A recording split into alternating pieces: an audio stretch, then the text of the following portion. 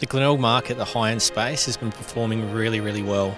We're seeing lots and lots more properties now where vendors are actually requesting off market discreet sales. So there's different ways we can approach selling a property off market. We've got quite a large database through our Toop Vault that we can target those buyers before a property is actually publicly released to the marketplace. The Toop Vault provides an ability for buyers to register and then they're able to receive live alerts uh, from the field before the property hits the public market. Buyers can register for the Toop Vault on our website at toop.com.au, answer a few different questions about what they're looking for, what areas they might be wanting to purchase in, and then they'll receive tailored alerts to their specific criteria.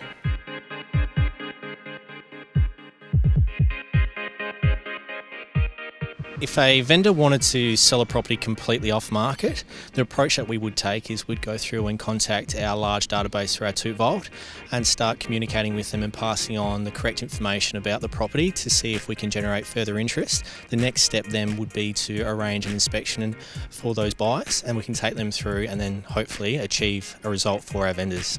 The Toop Vault is a discreet way of selling because it doesn't launch to all the platforms that we normally see online, such as realestate.com or Domain.